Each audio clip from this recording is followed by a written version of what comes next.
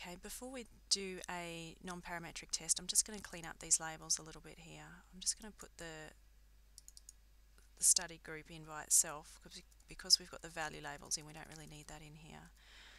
And down here, I'm actually going to delete these because I don't want them and they're cluttering it up.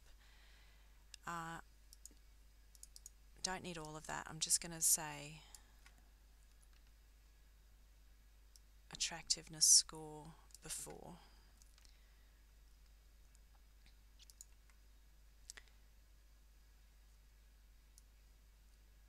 Now there's one other thing that we're going to have to do. Although we're treating this as an ordinal variable, and this is really um, poor performance on part of SPSS, and we're going to do a test which is suitable for ordinal data, it, SPSS will actually not calculate it if it's coded as ordinal. It used to in the legacy dialogues, but now it has to be put as scale. So if you have some data which is ordinal, like a Likert scale or um, this one here on a scale of 1 to 10, and you're going to do a non-parametric test on it, you're going to have to put it in as scale instead of as ordinal, which is unfortunate.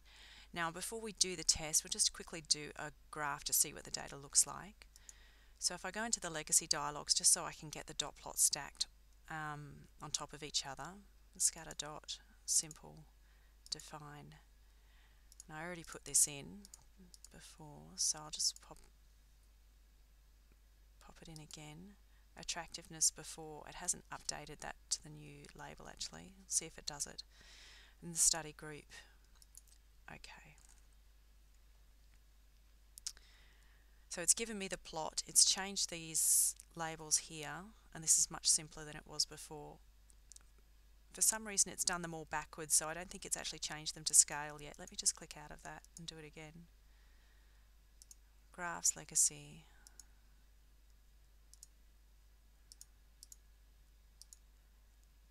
Reset, maybe that will do it. Okay, now it's popping up. I was just looking for that icon to change. Attractiveness and study group. Okay, now we have it from 1 to 7. If we were showing this data and we knew it was on a scale of 1 to 10, we might want to have the whole scale 1 to 10 on the graph just so we could see exactly where the data was sitting. If you double click into the graph to open up the editor and then double click right on one of these uh, x-axis labels here and you'll see that they get highlighted in yellow. Uh, and go to scale and we can go to a maximum of 10. And I might start that at 0 because we're getting funny labels there. Apply. That's better. So now from the graph we can see that everyone ranked themselves fairly lowly on um, overall. We didn't have anyone saying they were above a six and a half. Uh, and we're looking to see is the attractiveness score the same approximately in both the groups before the study? And we might want to do this to check for confounding. If one of the groups happened to be feeling a lot more attractive than the other group for whatever reason, then that would impact on the results if all the attractive people happen to be, say, in the intervention group or in the control group. So in order to check for confounding, we might look at something like this that happened before the study happened, took place, and that's why I don't need the rest of those rows in the data at the moment. I just need the pre-attractiveness score. So to test these scores, we're going to treat them as ordinal and we're going to do a non-parametric test. Um, it's possible you could treat it as continuous and do a, an independent t-test. However, the data most certainly does not look normal and I don't think it comes from a normal distribution. So I don't think it's going to meet the criteria for an independent samples t-test. So the, the non-parametric version of the independent samples t-test we can do with the Mann-Whitney U-test. If we go to Analyze and the non-parametric tests, what we're after is the independent samples because we've got two separate groups. We've got the intervention group and the control group. These are independent of each other and we want to compare their distributions. If we go first to the objective, just leave it on the top one, the default, automatically compare distributions across groups. If you get more into non-parametric testing, you might look at the details of the test and how you can use it to compare medians um, or do a custom analysis. But just for the basic, basic test, we just want to see if the two distributions are the same. And the null hypothesis will be that the, these distributions are the same. If we go into fields, we can put in our attractiveness score before, which I already have in there. So that's the variable that we want to test. And then our two groups are from our study groups. And then click Run.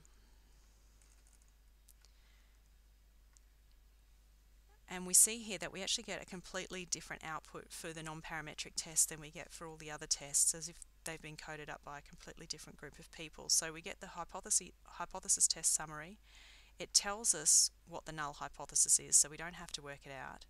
The distribution of attractiveness score before is the same across the categories of study group. So it's saying that the distribution of these scores is the same between the control group and the intervention group.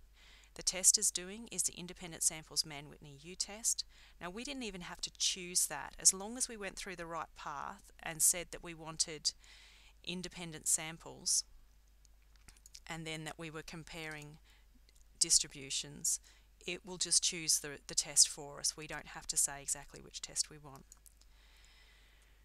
We've got a really high p-value and our decision is to retain the null hypothesis. So we would say that we have no evidence to reject the null hypothesis, therefore we can assume that the attractiveness was the same in both the groups before the study, and therefore there is no evidence that there is any confounding in the study. If we double click into this box, it gives us even more output, which it doesn't do for the t-test or the ANOVA or anything else that we've looked at and this is really quite nice this. So it gives us a little graph here. And we can see here that there's they're not exactly the same but you know they cover the same range and they're peaking at about the same point. So they do look approximately the same. Uh, it gives us some more details here about the different tests it's done. Our p-value at the bottom and we've got our um, decision over here. So the independent samples Mann-Whitney U test is similar to your independent t-test and you would use it if your samples do not meet the assumptions for a t-test, which is what you would do on continuous data, or if you have ordinal data which is what we've got in this case. There are a lot of times where people treat ordinal data as if it was continuous and the tests are fairly robust and if they, they come from normal distributions and you've got large samples that's usually okay.